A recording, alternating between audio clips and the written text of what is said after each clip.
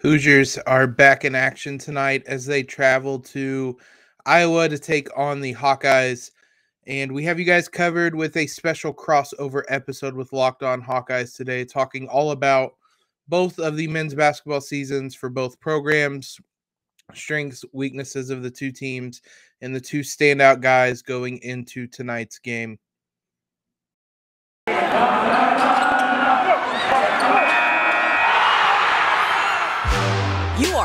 Locked On Hoosiers, your daily podcast on the Indiana Hoosiers. Part of the Locked On Podcast Network. Your team every day.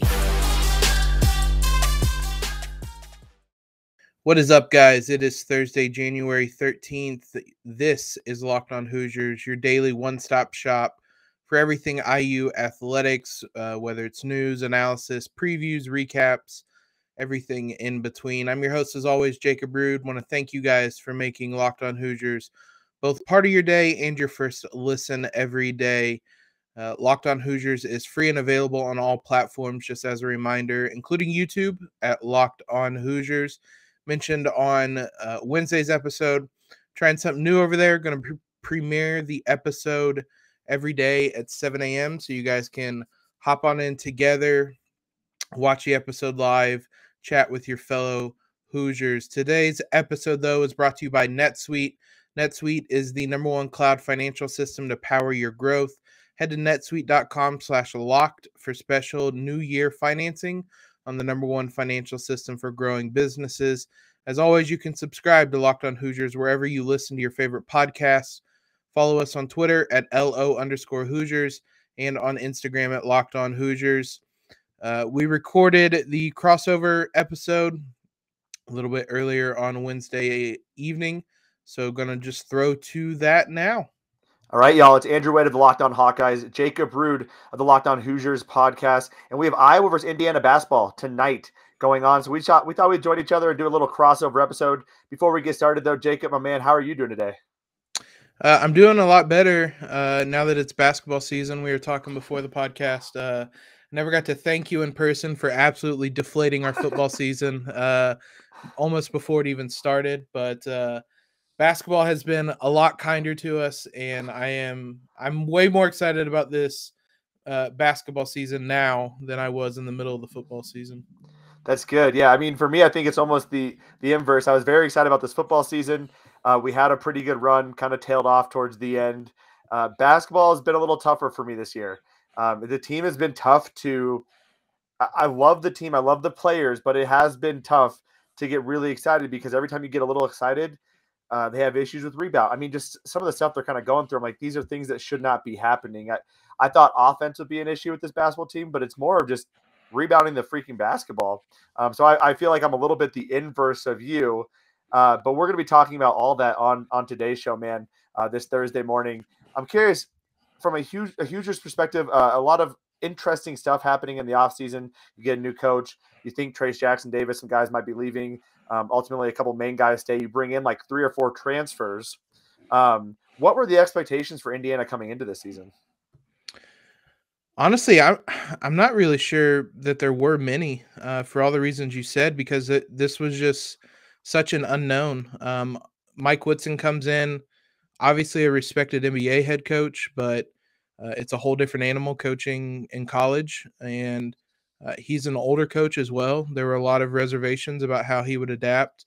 Um, we obviously knew that Trayce Jackson Davis was was really good, but um, all of the other kind of main contributors on this team uh, are, are transfers that have come in. So um, there there weren't really expectations. They had a trip to the Bahamas during uh, the summer where it sounded like they played well, um, had some people optimistic, but I don't think in anybody's kind of best case scenario they would have imagined um, this IU team being 12 and 3 right now, having a win over Ohio State, um, being at uh, 500 in the conference, um, or excuse me, over 500 now in the conference.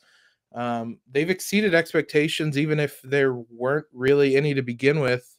Uh, Mike Woodson has been great. Trayce Jackson Davis has been all American level, and this team has just been a blast. Mainly, I mean, probably because uh, they don't really have expectations. So this all just feels like fun. There's no pressure.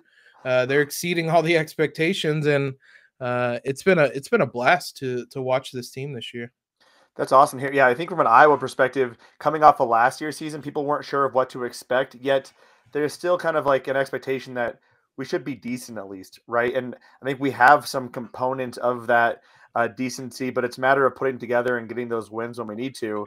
Um, I'm curious about, you know, I, Iowa's losses have been to Iowa State, Purdue, Illinois, Wisconsin, all top ranked teams, right? Indiana, the losses are a bit interesting when you when you look at them.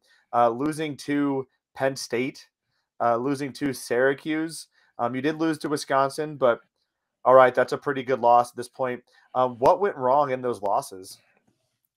Well, the first thing is that the trend there is every one of them is on the road. Uh, IU is yet to I win a road game. Yeah, love I was going to say, good, good, uh, good news for Hawkeye fans. IU is yet to win on the road this year. Um, that's the first trend. I, although um, that isn't really the only reason. The Syracuse game was turnovers, just an absolute ton of turnovers um, against that 2 3 zone. Uh, they finished with 26 in that game. Uh, the Wisconsin, yeah, it was a double overtime game. It was an absolutely silly game. At one point, um, Trayce Jackson Davis went down with like a non contact knee injury that looked really, Ooh. really bad. And everybody was just like, this is awful. The season's done. He came back in like two minutes later and uh, saved us and sent it to overtime. Uh, obviously, he's been fine, but uh, the Wisconsin game was maybe the the first half was the best half of the season. Uh, we were throttling Wisconsin up by 20, I think 23 points in the first half and lost that game. Uh, so we don't wow. even, you can imagine what the second half was like. Um, that Penn State game again was an odd game. IU was coming off. They had a game canceled right around the New Year's. Penn State had three weeks off. Um, the it was just kind of an odd feeling game. Um, but Penn State came out, shot the ball really well. It was IU's worst game of the season, I would say, over a full 40 minutes. Um, offense in general has been an issue for this team. The defense is really, really, really good. Um, and Mike Woodson preached that the minute he got here. The offense outside of Trayce Jackson Davis has not been great, which is interesting just comparing these two teams because it feels like just looking at the stats, almost the exact, exact opposite, opposite, for, exact for opposite. Iowa this year. It's a new year, guys, and that means New Year's resolutions. If yours is about getting fit or eating healthier, make sure you include Built Bar in your plan. Built Bar makes it easier to stick to your resolution because it tastes so good. You're going to want to eat these. Uh, they don't taste like your normal protein bars that are chalky, waxy, or, I mean, honestly, tastes like a chemical spill. Uh, you want to eat healthy, but it just gets so boring that by week three, you're thinking this is just not worth it. Where's the chocolate? Built Bar, they're covered in 100% real chocolate. They're still healthy for you, though. 130 calories, four to five or four grams of sugar, four net carbs, 17 grams of protein in most bars. Compare that to your average candy bar, it's going to be better across the board. Uh, one of the best things, though, is that there's so many flavors to choose from with Built Bar. My personal favorite is cookies and cream. You have salted caramel, mint brownie, peanut butter brownie, raspberry. They're always adding limited time flavors as well. So be sure to head over to built.com, use promo code LOCKED15, get 15% off your order today. That's promo code LOCKED15 for 15% off at built.com. Keep telling you guys about this awesome app because it sounds too good to be true, but it is not. Get Upside is an app you guys need to download today. It's really simple, it helps you get cash back on each purchase of gasoline. Uh, it was really easy when I used it. Downloaded the app to my phone, found the gas station near me I was going to, entered promo code SCORE, got a special offer uh, up to 50 cents per gallon cash back. Claimed that offer, drove down to the gas station, checked in, filled up within 24 hours for me. That money was in my account on the app. Uh, it's really simple to transfer the money over to your bank account, to your PayPal. You can even get gift cards as well. Uh, as I said, it sounds too good to be true. It is not. Use that promo code SCORE. Get up to 50 cents gallon cash back on your first tank. Gas is something we have to buy anyway. So why not download the Get Upside app? Make some money back uh, while you can. Of complaining about gas prices, get the Get Upside app. Use that promo code SCORE. Get 50 cents cat or 50 cents per gallon cash back on your first tank. Once again, that's promo code SCORE with the Get Upside app. I want to thank you guys for making Locked On Hoosiers your first listen every day. Reminder we're free and available on all platforms. Now let's get back to our discussion. Yeah, it's uh, it, you're completely right. The exact freaking opposite. Where like Iowa offensively, I thought, man, offensively they're going to be worse than last year because you're losing Luka Garza, you're losing a Joe Wieskamp, both NBA players. You're losing a CJ Frederick who could knock down threes at a pretty good clip. Jack Nunge, right? You're losing a bunch of guys who performed well offensively. But I thought defensively, this is where the team is going to shine because they have a lot of length and a lot of guys at that six foot eight range. They have four guys at six foot eight who can kind of guard and defend multiple guys, especially Keegan, Kris Murray, Keegan and Kris Murray and Patrick McCaffrey. Those guys can defend one through four, if not five, depending on how big that five is. I thought defensively this team would be pretty darn good coming into the season, but they're actually managing to be worse than any Iowa team in the last like four or five years, which is saying something because Iowa is not a very good defensive team. Um, I do want to quickly, uh, I just quickly looked up the KenPom um, expected win for Wisconsin and Indiana uh, at the three minute mark. It gave Wisconsin a 13.8% chance of winning that game at the three minute mark left in the game. Um, obviously, Wisconsin going on to win that game. So, very unfortunate. Um, I'm curious about the turnovers because Iowa um, is kind of, again, these are very polar opposite teams. Iowa does not force or does not turn the ball over hardly ever. They're a fantastic team at keeping possession of the ball. They've always have been, but they're also really good at forcing teams to turn the ball over as well. They've gotten better at stealing the basketball. Um, have you seen turnovers be an issue throughout the season, or is it really just that Syracuse game really inflating those statistics? Early in the season, in general, they were a problem. Even before that Syracuse game, uh, it was a known issue. Uh, through the first, excuse me, through the first ten games this year, uh, IU averaged 15 turnovers a game. Um, they only had two games that they didn't have double digit turnovers. And then over the last um, five games, it's been much, much better. Um, they've only turned the ball over 21 times in the last three games combined. Uh, so it was very much a problem early in the year.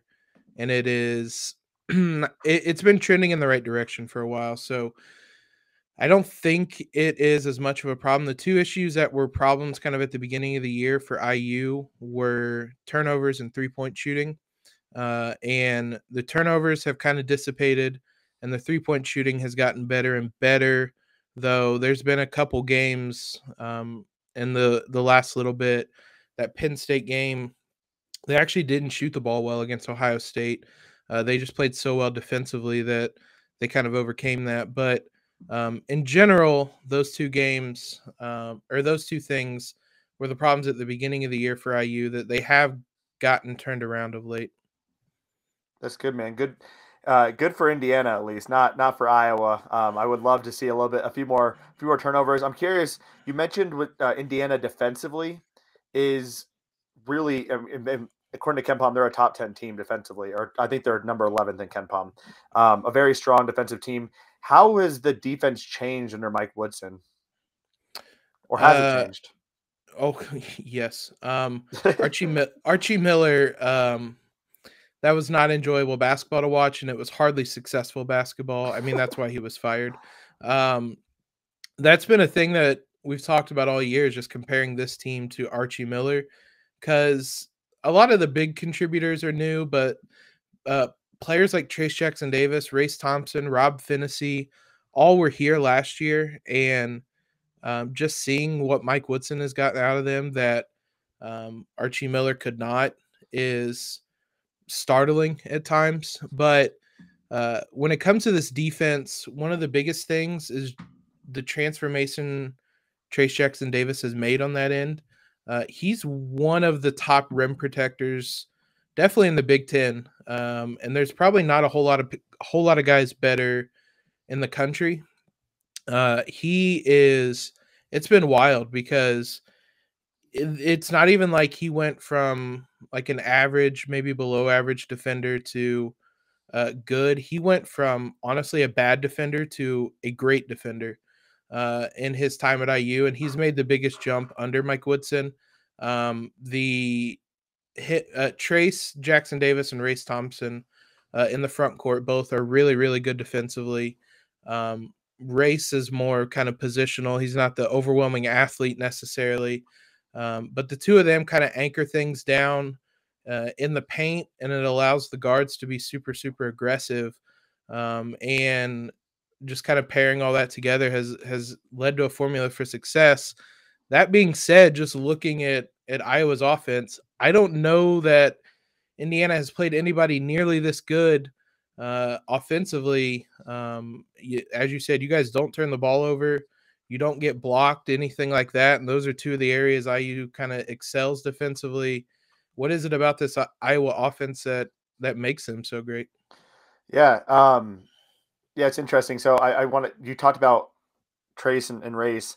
Uh, they're allowing a 39% two point percentage, which is first in the country. Uh, pretty yep. phenomenal. I think when you look at Iowa's offense, uh, you have to factor in Jordan Bohannon. When you look at how teams have defended Iowa, they usually take one of their better defenders and they try to lock down Jordan Bohannon because he might not be the guy who's going to win the game for Iowa every time, but he's also the guy who, when Iowa's down 15, he's the guy who can bring Iowa back. And when you look at Wisconsin, what they did defensively against Iowa, they basically put Brad Davison, who is very dirty, but one of the better defenders yeah. uh, in in all of basketball.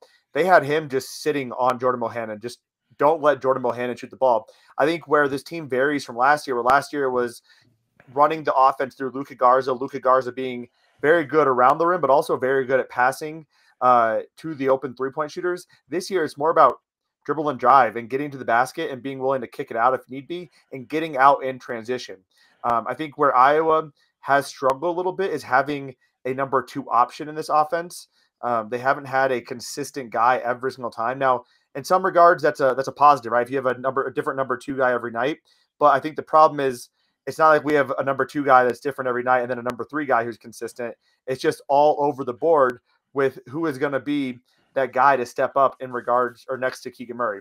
Um, I think where Iowa can be dangerous offensively is the fact that Keegan Murray is so skilled at getting to the basket and creating his own shot and also shooting three. I mean, this guy can literally do it all. There's a reason why he is um, considered one of the National Player of the Year frontrunners, and he's a leading scorer in all of college basketball. It's because he can he can score in so many dynamic ways. Jordan Bohannon can shoot the three. Patrick McCaffrey can get to the basket. He just struggles with with capitalizing on the opportunities once he gets there. I don't know what it is. It, has been something I've kind of noticed over the last couple of years. He can get to the basket, but it's just it's one of those things where it doesn't feel like it. It doesn't feel like it goes in ever um, even when he when he gets up there. So to answer your question, I think it, it really just Keegan Murray. Keegan Murray has been uh, phenomenal. Uh, we've seen some really good performances from a, a, collection of guys, but it hasn't been consistent across the board. Three point shooting is always going to be kind of an interesting thing to watch with Iowa. Again, Jordan Bohannon being kind of the main guy there, but Payton Sandfort, who's a true freshman, can come off the bench, basically do Jordan Bohannon type of things uh, with a little bit better defensive effort. Kris Murray, uh, Keegan's brother, is also a great three point shooter. Uh, something to watch out for as well. Also, a guy who can drive to the basket. And then Tony Perkins has developed a bit of an outside shot too. So Iowa can just attack you from a variety of different ways, and they like to get out in transition. They are going to, and that's honestly probably why they struggle so much with rebounding, is that their guys are trying to get out in transition before they even secured the ball, and that gives other teams a lot of great opportunities. So it's been we have, we have a very good offense, but it's it's been kind of frustrating because some of our success offensively is honestly maybe played over into our lack of success defensively. This is it, the putt to win the tournament. If you sink it, the championship is yours. But on your backswing, your hat falls over your eyes. Is this how you're running your business? Poor visibility because you're still relying on spreadsheets and outdated finance software? To see the full picture, you need to upgrade to NetSuite by Oracle. NetSuite is the number one cloud financial system to power your growth. With visibility and control of your financials, inventory, HR, planning, budgeting, and more, NetSuite is everything you need to grow all in one place. With NetSuite, you can automate your processes and close your books in no time while staying well ahead of your competition. 93% of surveyed businesses increase their visibility and control after upgrading to NetSuite. Over 28,000 businesses already use NetSuite, and for the new year, NetSuite has a new financing program for those ready to upgrade at netsuite.com/locked. Head to netsuite.com/locked for this special one-of-a-kind financing offer on the number one financial system system for growing businesses. Easier said than done. netsuite.com slash locked. it's going to be interesting to see how the Hoosiers match up. Then they did just have success against another um, Player of the Year kind of candidate in EJ Liddell. Uh, they made his night awful against IU uh, about a week ago. Um, but again, this seems Keegan Murray. Just looking at the statistics, seems like a different kind of beast. Um, wouldn't be surprised if Race Thompson starts on him. Um, that's who drew the primary assignment on uh, EJ Liddell, though I think one thing that IU did really well on that night, and we'll see how much they can replicate it against Iowa, is they were always just aware of where EJ Liddell was on the floor. Um, whether it was a drop off pass or a driving kick or even just rebounding and putbacks, um, they they knew where EJ Liddell was going to be and got a body to him, make sure everything was contested for him. Um, but yeah, Keegan Murray just he he's been impressive this season, been really really good. This is going to be the the biggest test yet for this Hoosier defense, um, who really we haven't played a lot of really good. I mean, we haven't played a lot of really good teams or really good offenses in general. Um, part of hiring a Mike Woodson as a first year coach is we just filled the non-conference schedule with really easy opponents to try to figure things out as we went. And uh, the kind of knock on this IU team until that Ohio State game is they didn't really have a big win. Um, and that was a win at home on prime time, all that fun stuff. So this is a, a different kind of test. Um, the Hoosiers, I mean, I mentioned they haven't been good away from Assembly Hall either. So um, I it, it's going to be interesting because these are two of the best players in the Big Ten in general as well that uh, will be matching up against one another. But um, it's strength versus strength. Um, I guess on the other side of the ball, defensively, um, I mean it's a it's a poor IU offense against a a poor Iowa defense. So uh, where has Iowa kind of struggled defensively then? Uh, believe me, I've seen this before where we play a poor offense and it makes our poor defense look even worse. We make bad offenses look good, man. It is it's bad. Um, I want to touch on a point you said earlier, and I'll get get to your question here in a second. Um, I think Keegan and EJ are, are, definitely different players too, which will be really yeah. interesting to see how they match up. Because Keegan, to me, is more of a guy who he plays more like a tall, I would say more like a three, whereas EJ Liddell plays more of a traditional four or five, just being undersized. Uh. Keegan going to be a bit quicker, able to drive the basket a bit easier, a better three point shooter. So his outside game is probably a bit better, while his inside game, you're not going to see Keegan uh, backing guys down. He's not going to sit there and back down Trayce Jackson Davis and you know play back the basket. So that'll be it'll be interesting to see how they do handle uh, Keegan Murray. As that has been the focal point of everybody's attention. It's Keegan Murray and Jordan Bohannon, and let the other guys beat you. And um, to a degree, that's worked. Uh, but I think where, when you mentioned the defense and, and what has been the issue, um, Iowa has traditionally liked to play a lot of zone. Um, when you look at Iowa from an athleticism perspective, man defense isn't going to be the best feature of our team um, typically, but we have better athletes than we have in the past, especially at at the wing position or the the guard and wing positions outside of, of Jordan, who's not a terrible athlete. He's just not overly quick to be able to handle some of the better point guards and shooting guards in the conference. Um, so we, we traditionally played a lot of zone, but when we play a lot of zone, we struggle with rebounding the basketball. That's just that's just our biggest issue. We can hold we can hold teams to almost the entire shot clock and they'll miss a open three or two or whatever it might be, and we don't get the rebound. I have it is amazing the ways we don't get a rebound. Um, and it's incredibly frustrating. And and what happens is we get absolutely annihilated on second, third, and sometimes fourth chance opportunities. And those are demoralizing as heck for a team, but it all comes down to rebounding. I think Iowa, if they could just get to the basket, and that's when you see Iowa switch to man, which then exposes some weaknesses in some of our on ball defense potentially. So um, it's kind of a mix or match there. Um, we oftentimes, uh, I always find this interesting. Last year, I was always doing some reports on it.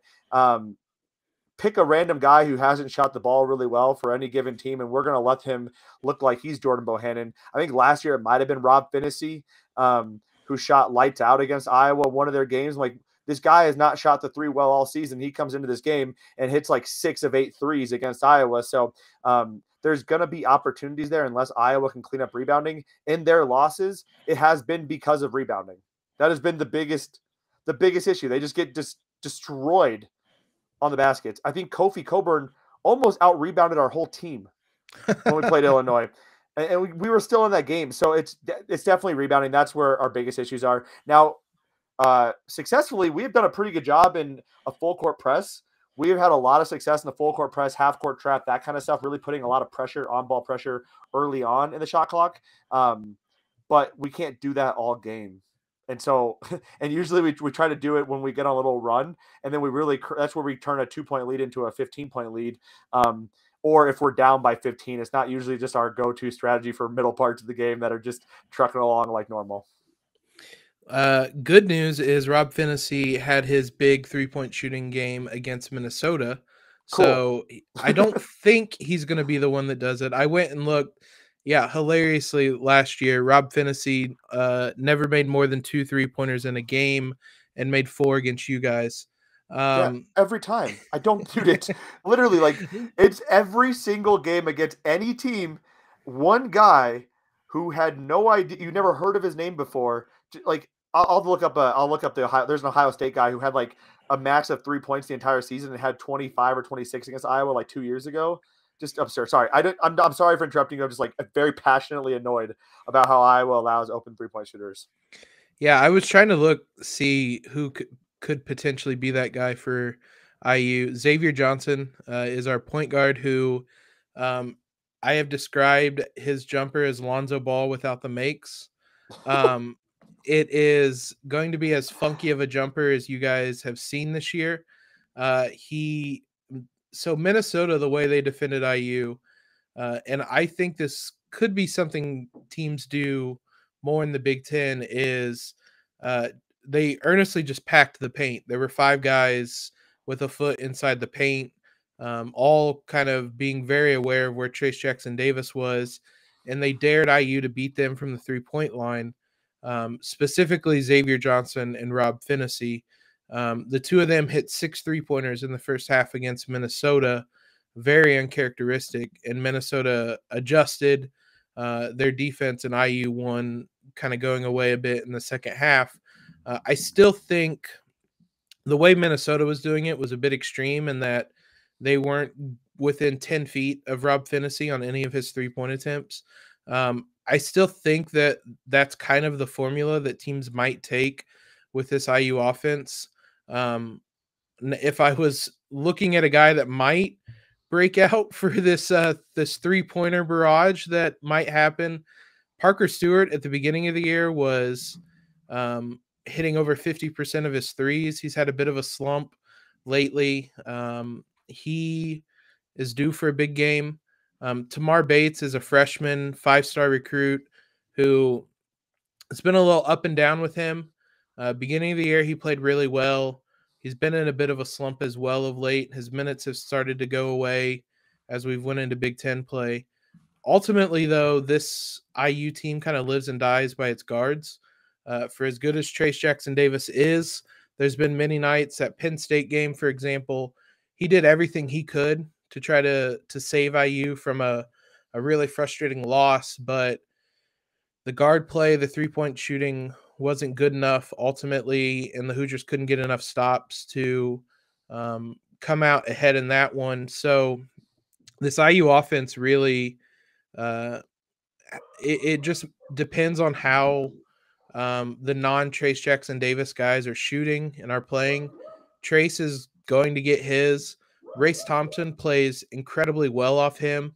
He's going to be flirting with a double double uh, by the end of the night. But then there have been multiple nights where nobody else on the team has more than six points or eight points. Uh, that Penn State game, that Wisconsin game um, are examples. So um, if you can kind of limit everybody else, which hasn't been too hard to do at times this season, I think that would be the formula for Iowa to find success. Uh, but of late, the Hoosiers have done really well. Um, a lot of teams are, are doubling uh, Trayce Jackson Davis and not really being worried about the Hoosiers knocking down threes. And instead of them taking threes, they've been doing a lot more driving and kicking and passing and getting an open shot that way. Uh, you mentioned a zone. I wouldn't be surprised if you guys tried that as well because IU has been very hot and cold against zone defenses this year. That Syracuse game we mentioned, they had 26 mm-hmm. turnovers, and that's all Syracuse runs. Um, those possessions either ended in turnovers or dunks. So that's kind of been what IU has done against uh, zone defenses this year is either just mind numbing turnovers or Trayce Jackson Davis gets a dunk. Uh, so I wouldn't be surprised if Iowa went to a fair bit of zone as well against the Hoosiers because it's not been something they've been great at this season. Yeah, it'll be interesting. Like I said, this is a tale of two different two different teams uh, with the exact the strengths that match up very well against each other to make for a very interesting game. Uh, to me, this looks like either Iowa is going to honestly blow Indiana out, or Indiana is going to win by like three or four. Um, I want to I want to make note that you mentioned being on the road has been tough for Indiana. Uh, Carver Hawkeye Arena is probably one of the worst home court advantages in the Big Ten. Uh, the fan support is is not good, right? It's just not the best environment. Uh, so hopefully that doesn't hurt Iowa too much in this game. Um, yeah, it'll be interesting, man. If if if they struggle that much against the zone, uh, I just I don't trust Iowa zone to be able to to handle that. But we've seen the the show before where you know last year with Iowa teams allow Luka Garza to get his stop the wings and you win the game. And a lot of teams yeah. did that. Indiana did that. Uh, seemed to work well. So um, it'll be an interesting game. What are your final predictions, man? Until this IU team wins a road game, uh, I don't know if I can uh, predict it to win one. Um, I would probably say Iowa by probably seven, eight points. Um, final score would be something like 80 to 73, maybe, maybe a little bit lower than that, but somewhere right around there. I think Iowa will probably win this. Uh, this is a really tough place to potentially get your first road win, and I don't trust the Hoosiers on the road yet. Yeah, I'm struggling with this. Um, because Iowa has had a break, which is good. They're coming off a very bad loss against Wisconsin. They are getting a little bit healthier. Man, I, I'm gonna hate. I just hate playing Indiana. Something about Indiana in basketball is like playing Northwestern in football or Purdue in football for the Hawks. Like the last couple of years, it just seems like Indiana has been a thorn in Iowa's side. But I do think Iowa can come out and get the W, and I, I will say probably a seven to ten point win. Um, I'm gonna probably say like 84 to, to 74 at this point. Just um, Indiana is going to get theirs, even if their offense hasn't been good. They will they will get some against Iowa. That won't be a problem at all. We found a way to let teams uh, eat a little bit too. Uh, Jacob, it has been uh, a blast talking to you about Iowa, Indiana basketball. Uh, for the Hawkeye fans out there listening, you can find Jacob at Jacob Rude on Twitter, covering the Locked On Hoosiers or the Indiana Hoosiers at the Locked On Hoosiers podcast Monday through Friday. As always, you can find me, Andrew Wade, covering the Hawkeyes Monday through Friday as well at Locked On Hawkeyes. Jacob, any last words, man? Uh, good luck. Hope it's a fun one tonight. Yeah, man. Go Hawks.